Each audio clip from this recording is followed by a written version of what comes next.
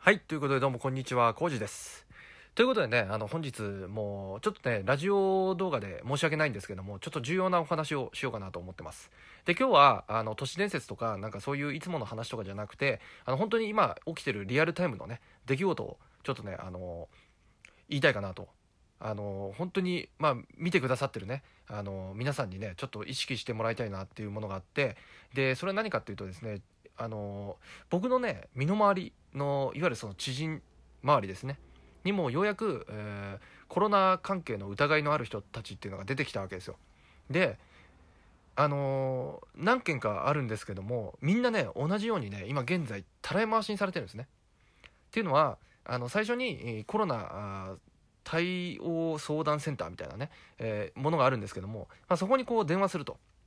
こういう疑いがあるんですけどもっていうね、咳とこう発熱があってっていうふうに連絡しても、えーまずそこの電話の受付の対応っていうのが看護師でもなければ、えーまあ医療関係の人じゃないから、えー詳しいことがわからないと。症状に関してのない中身がわからないと。なんで、そういったものは、え緊急相談センターみたいなところにこう、あの、連絡してくださいっていうふうにまず言われるらしいんですね。で、そっちに今度連絡すると、えこっちでもね、あの、その診療するにあたって、まあ、いろんなその、優先順位があると。まずその渡航歴を聞かれたりだとか、あの外国に今まで行ってましたかとかね。で、ここ近日中は何やってましたかみたいな感じになって、いわゆるその優先順位的にたらい回しにされると。まあ、なかなかその、今すぐにこう診断してほしいっていうものが通用しないっていうね、状態になってるという感じなんですよ。で、例えばね、あの、この渡航歴とかを聞くっていうのは、初期の段階だったらわかるんですよ。ね、あの、ね、海外の方からこうそういう感染のルートがありますよっていう風になってきた時に最初の初期の方だったら渡航歴って聞くのは当たり前なんですけども今現在の現状としては渡航歴があるないに関わらず国内で感染してるからねだからそういったところとかもですね後手に回ってるんですよねあの多分そういうマニュアルというか、まあそういう風にしてくれっていう風になってるんだと思うんだけど、この対応がね、多分1店舗か2店舗ぐらい遅れてるんですよ。で、まあ、かといってね、ここを批判してもしょうがないですよね。もう、いわゆる、あの、ちょっと崩壊って言ったらね、あの、語弊があるかもしれないですけど、もうほぼ崩壊してると言っても、あの、過言ではないぐらいの対応になっちゃってるんですね。たらい回しにされて。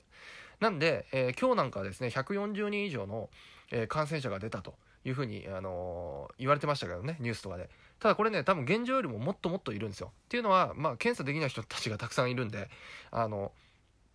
なんだろうな、今のこの現状だけでまだそんなもんかっていうふうに思いながらね、あの、外に出ちゃう人とかもいるんですけども、まあ僕のあの、ツイッターとかのタイムラインとかでも結構ね、なんかあの、外にこう出てる、あの、雰囲気の撮影をこうしてたりだとかね、あの、街の、なんか、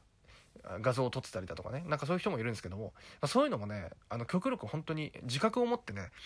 あの、やめた方がいいと。いわゆるその緊急事態宣言とか、その政府が何かを指示を出した、出した時に、えーそれに従うっていうスタイルじゃなくて、もうじ、自ら自覚を持って、もう、あの、ほとんど、あの、出かけないようにするっていう風にね、対策をしていくことが今重要なんですよ。で、あの、他にもですね、例えば、あの、えーどこだっけな、あアマゾンかな？アマゾンの奥地とかでも感染者が出たっていうね、あの、ニュースとかにもなってるんですけども、なんかそういう事態になってくると、いわゆるあっちの地域ってすごくあったかいんですよね。であったかくても感染が広がるってことは、まあ当初言われてた、夏前には収束するだろうっていう言われてた、そのあったかくなってくるとね、あの収束するかもしれないという当初のね、あの見解というものとかも崩れつつあるというぐらいに、あの、ほとんどね、だから、いろんなものがね、追いついてないんですよね、現状。だからそこに対してめちゃくちゃ危機感を持って、あの、自覚を持ってね、対処していかないといけないと。で、もちろん、この今のおこういう辛い現状の中でも、えー会社に出勤しなきゃいけないとかね、なんかそういった、えーものとかがあったりするわけですよね。あの、ツイッターのなんかタイムラインで見かけたんですけれども、えーこの期間中は時給の方を上げるから出勤してくれっていうなんか号令みたいなのがかかってる会社があったりだとかね。まあこれ、真偽は分かんないですけどね。でも、あのいろんな人の事情を多分ね、組んで考えていくと、まあそういうところも少なからずあるかなというふうに思うんですよね。あのね、時給は上げてなくてもね、なんかその会社が、ちょっとこのままだと破産しそうだから、ちょっとみんなで、あの、どうにか出勤できる人だけで出勤して、あの、頑張ってくれ、みたいなね、あの、ほとんどあると思うんですよ、そういうのってね。だけど、その、そこにね、なんなんていうかなあのやっぱりこの今の現状のこの流れに対してやっぱね対応できなかった会社っていうのはですねやっぱり今後も生き残っていくのは難しい会社とも取れるわけですよ。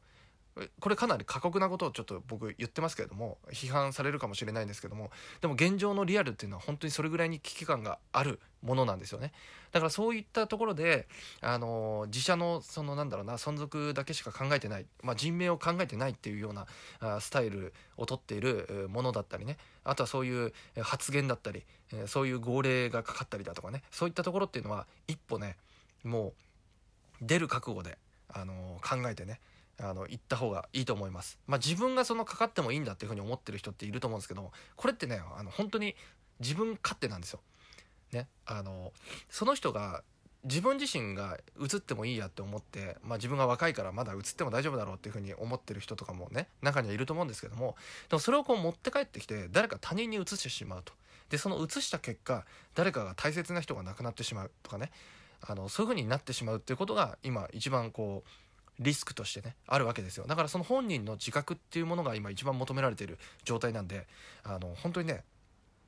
意識してもらいたいですね。で家にいてもね何もやることないなっていうふうに思う人もたくさんいると思うんですけども、まあ、そういう時はですねあの本当に YouTube をね始めてみるとかねあのね友達とかと全然会えなくて寂しいですっていうところからあの YouTube 始めてみました。なので皆さんあの初めましての人は仲良くしてくださいみたいな感じでね始めることからやっぱり新しいあのスタートにもね